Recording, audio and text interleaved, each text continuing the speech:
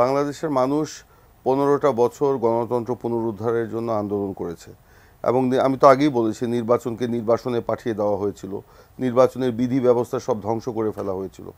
এখন এটা যদি দীর্ঘ সময় লেগে যায় বা দীর্ঘসূত্রিতা যদি থাকে, তাহলে মানুষের মধ্যে কিন্তু একটা অস্থিরতা বা একটা বিভ্রান্তি এটা দেখা দিবে। এটা বাধ্য বাংলাদেশ মানুষ, গণতন্ত্র প্রিয় মানুষ, নির্বাচন প্রিয় মানুষ। পনেরো বছর তারা নির্বাচনে ভোট দিতে পারে নাই। তো এখন তো তারা নিশ্চয়ই ভোট দিতে ভোট দেওয়ার জন্য উদ্গ্রীব। এখন তার মানে কোনো দলীয় সরকার ক্ষমতায় নেই। একটা অন্তর্বর্তীকালীন সরকার ক্ষমতায় আছে। তো সেই অন্তর্বর্তীকালীন সরকারের আমাদের মানুষের একটা ভোট দিতে পারবে নিজের পছন্দ মতো প্রার্থীকে উৎসবমুখর পরিবেশে, এটি তো তাদের প্রত্যাশা বা চাওয়াটা স্বাভাবিক। এখন সেটা যদি মানে অহেতুক সময় বেশি লাগে তাহলে তো এটা তো মানুষ মানে মানে এটা অন্যরকম পরিস্থিতির দিকে যাবে। জনগণের প্রতিনিধিত্ব করে রাজনৈতিক দলগুলো।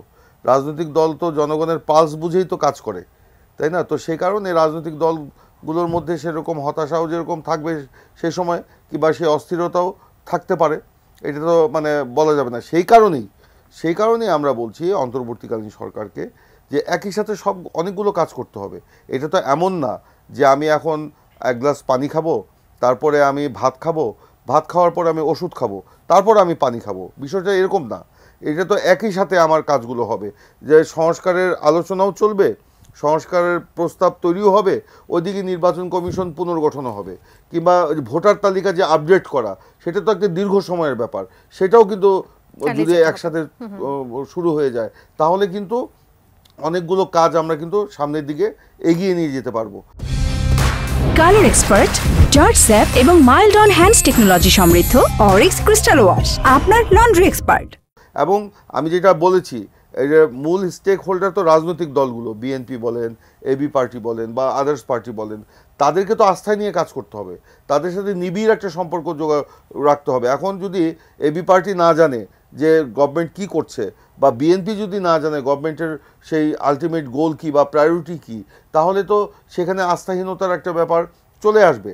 সেই জন্য আমরা যেটা বলে, বলেছি যে আমাদেরকে মানে নিবিড় যোগাযোগ রেখে এই রাজনৈতিক দলগুলোর সাথে নিবিড় একটা যোগাযোগ রেখে অতি দ্রুত সংস্কারগুলো করতে হবে।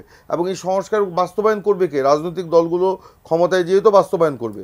তো রাজনৈতিক দলগুলোর সাথে যদি সম্পৃক্ত করে এই সংস্কার প্রস্তাবগুলো আনা হয় তাহলে কিন্তু এটা আরও দ্রুত এবং আরও গঠনমূলকভাবে কিন্তু এটা এগিয়ে যাবে এবং টেকসই সংস্কারের দিকে আমরা এগিয়ে যেতে পারব। সেই কারণে আমি কোনো গ্যাপ এখানে তৈরি করতে চাই না। আমি আবারও বলছি এই সরকার হচ্ছে আমাদের প্রত্যাশিত সরকার জনগণের সরকার এই সরকারকে আমরা ওন করি এবং এই সরকার যাতে ব্যর্থ না হয় সেই জন্য আমরা কাজ করছি।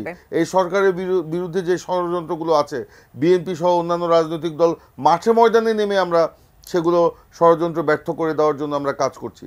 তো এখানে ব্যর্থ সরকারের ব্যর্থ হওয়ার কোনো সুযোগ নাই এবং জনগণের প্রত্যাশা অনুযায়ী সরকারকে কিন্তু এগিয়ে যেতে হবে।